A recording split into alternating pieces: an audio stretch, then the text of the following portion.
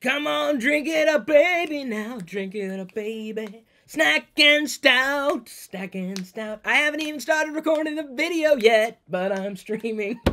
I haven't even started drinking either. Hello world, I'm Chris Pirillo, and you're watching another episode of CPU, which is short for Chris Pirillo. You decide what the U is short for because you are the only you I care about. And if you were wondering if I've had a drop to drink yet, the answer is no. This week's stout is a survival stout, malt beverage with coffee added. Perfect for me, I think. I don't know, I haven't tried one yet. It's from Hopworks Urban Brewery. I guarantee there's a nerd out there going, what does this have to do with tech? Well, nothing, but you can see this is a hub that I'm about to install in my body. Okay, let's crack into this bad boy. Is it just me or am I hot in here? Better.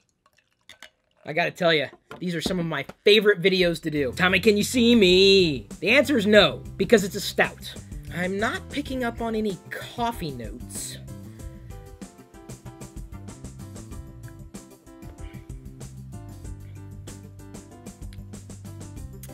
It tastes like something.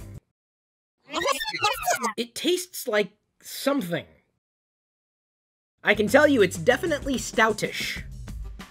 It tastes like burnt, but that's not a bad thing. I like a burnt flavor. Okay, maybe I need to cleanse my palate with some dill pickle flavored popcorn, or some sriracha flavored popcorn, or some bacon cheddar flavored popcorn, or some chili con queso flavored popcorn. And in case you want any of this, I'll be sure to put the link for you in this video's description. And if you can't find the exact brand that I'm trying, well, we'll find something close enough. It smells more like chocolate than it does coffee. Aw, oh, man, it's artificially flavored bacon cheddar. What's artificial? Why, why can't they just put real bacon in real popcorn and real cheddar? Mmm, uh. smells like fart. Yeah, no, this smells like fart.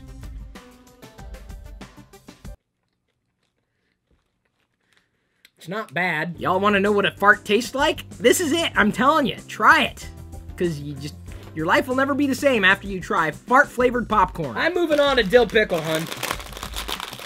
Which is also artificially flavored, combined with natural flavors. But the question is, is which part is natural? Mmm. I love the initial rush of the dill pickled inspired flavor as it hits my tongue. Nice finish. But I still have fart in my mouth. Hang on. Hmm. Now my mouth tastes like burnt pickle fart. Let's chili con queso. This is naturally flavored. I've never seen a chili con queso in the wild though, so I don't know what it tastes like.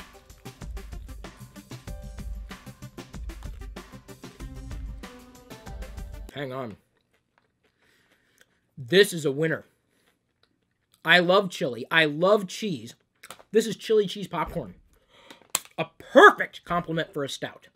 Yep, washed the fart right out of my mouth. Now see, the irony here is that chili makes you fart, but it's the thing that doesn't taste like a fart. Now we're moving on to the chitracha. Sriracha. Sriracha. Come on, everybody knows it's called sriracha. Which, by the way, would have been my name if I was a knight. Sriracha.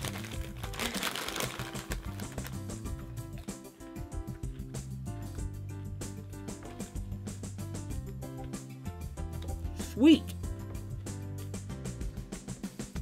The spiciness comes in after you've started chewing. It's sriracha and popcorn. But you know what? Out of all these, I gotta stick with the chili con queso. And of course, the stout. Have any of you ever eaten poop? I'm about to right now. With the super duper reindeer pooper. That's not really poop. It's lemon and apple flavored jelly beans. First you gotta rip off its head and then shove poop down its neck. I've always wanted to do this. You just squeeze the legs to make it poop. Into the stout. Somewhere in our community there's a rabbit going, hey, why are you eating my poop? Because it tastes like an apple. Or a lemon. I'm not sure which yet. If I know geeks half as well as I think I know geeks, I'm sure you're snacking on something. If you know of a snack I've not yet tried, feel free to make the recommendation. But at this point, I'm going to leave you to your own devices.